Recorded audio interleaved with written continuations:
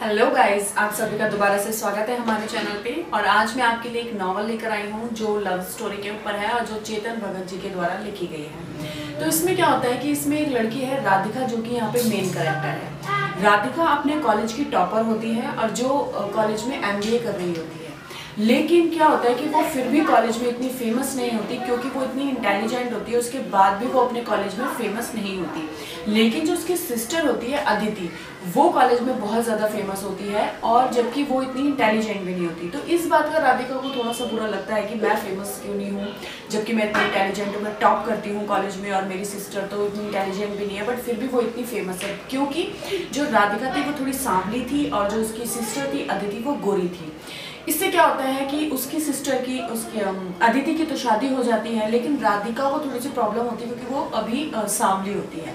इसलिए फिर वो अपने कॉलेज से एम टॉप करती है, जिसकी वजह से उसकी अमेरिका में जॉब लग जाती है फोर लैक्स पर मंथ की।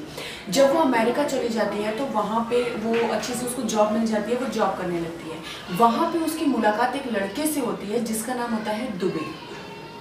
तो जब वो उससे मिलती है तो थोड़ी बहुत तो फ्रेंडशिप वगैरह थोड़े टाइम तक रहती है। उसके बाद वो दोनों इतने अच्छे दोस्त बन जाते हैं कि वो एक साथ रहने लगते हैं। उसके बाद उनका रिलेशन और आगे बढ़ जाता है। लेकिन फिर जो राधिका होती है, वो ये चाहती है कि जो दुबे है, वो हमेशा उसके साथ ही रहे और मतलब उस पर ना कंट्रोल करने लगती है वो। लेकिन कहीं ना कहीं फिर उस दुबे लड़के को भी ऐसा लगता है कि ये मुझ पर बहुत कंट्रोल करती है बिकॉज़ ऑफ़ क्योंकि उसकी सैलरी मेरे से ज़्यादा है, वो मेरे से ज़्यादा अच्छा कमाती है। फिर दुबे को यहाँ पे कुछ ना कुछ मतलब अच्छा सा नहीं लगता तो उनका रिलेशन फिर ख़त्म होते होते बिल्कुल ही ख़त्म हो जाता है। लेकिन जो राधिका होती है, वो दुबे को बहुत मनाती है और बहुत ज़्यादा उसको गिल्टी भी फील होती है कि मैंने उसको बुरा बोला क्योंकि राधिका यहाँ पे रॉयल होती है उसके साथ। उसको उसको रियल में लव करती होती है।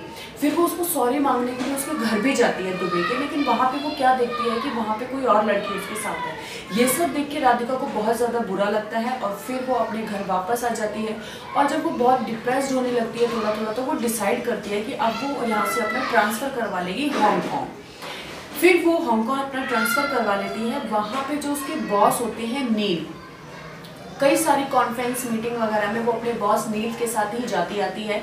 फिर क्या होता है कि उसके बॉस और राधिका के बीच में एक रिलेशन बन जाता है और वो फिर बहुत आगे बढ़ जाता है। आगे बढ़ने के बाद क्या होता है कि जब राधिका को ये पता चलता है कि मेरे बॉस जो नील हैं, उनकी एक वाइफ भी है और उनके बच्चे भी हैं तो वो उनसे मिलने के लिए उनके घर जाती है। और जब वो उनकी वाइफ से मिलती है तो वो देखती है कि उनकी वाइफ का नेचर कितना अच्छा है और वो खुद में गिल्टी फील करती है कि मतलब कि मैं अगर अपने बॉस के साथ हूँ नील के साथ हूँ तो इनकी वाइफ की क्या गलती है? मतलब ये तो मैं अच्छा नहीं कर रही हूँ उनके साथ तो उसको खुद की ही गलती फील होती है और फिर वो वहाँ से अपना ट्रांसफ़र करवा लेती है। ट्रांसफ़र करवाने के बाद वो लंदन चली जाती है। लंदन में वहाँ पर उसकी मॉम आ जाती है। और उसकी मॉम उसको शादी के लिए फोर्स करने लगती है कि अब तुम्हारी एज हो गई है और तुम शादी कर लो। तो उसकी मम्मा एक लड़का चूज़ करती हैं, जिसका नाम होता है ब्रिजेश। तो ब्रिजेश से राधिका भी मान जाती है कि हाँ ठीक है, मैं शादी कर लेती हूँ और वो उस लड़के से मिलती है, ब्रिजेश से मिलती है और वो फाइनल कर लेती है, ठीक है, मैं शादी कर लूँगी। उसके बाद क्या होता है कि गोवा में उसकी शादी की प्रिपरेशन चलती है, वहाँ पे फ़ंक्शन होता है गोवा में। तो जब उसका फ़ंक्शन गोवा में हो रहा होता है, तभी वहाँ पे दुबई से उसकी दोबारा से मुलाकात होती है, जो उसका फ़र्स्ट बॉयफ्रेंड होता है। उससे उसकी मुलाकात होती है तो दुबे को भी वहाँ पे ये लगता है कि मैंने राधिका को छोड़ के बहुत बड़ी गलती करी है और राधिका बहुत ही अच्छी लड़की है। फिर वो राधिका से माफ़ी मांगने भी जाते हैं कि मतलब मैं अपनी लाइफ तुम्हारे साथ दोबारा से स्टार्ट करना चाहता हूँ। लेकिन राधिका उसका कोई जवाब नहीं देती, तभी उसका जो बॉस होते हैं नील उसका फ़ोन उनका फ़ोन राधिका के पास आता है और वो ये बोलते हैं कि उनका और उनकी वाइफ का डाइवोर्स हो चुका है। अब वो अपनी आगे की लाइफ राधिका के साथ निभाना चाहते हैं।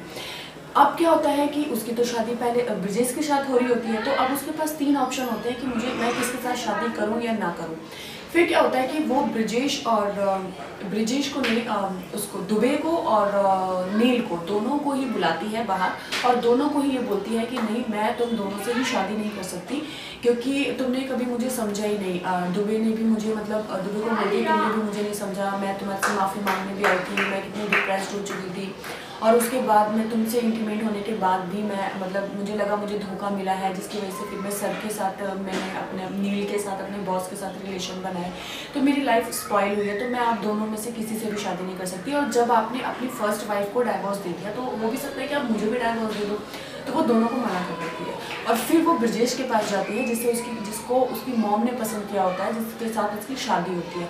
तो वो ब्रजेश को अपना सब पास्ट बता देती है कि कैसे कैसे वो दुबे से मिली या नील से मिली, सब कुछ बता देती है। वो वो बोलती है कि मैं ब्रजेश आपसे भी शादी नहीं कर सकती। तो ब्रजेश बोलता है कि मैं तुम्हारा सारा पास्ट भुलाकर भी तुमसे शादी करना चाहता हूँ।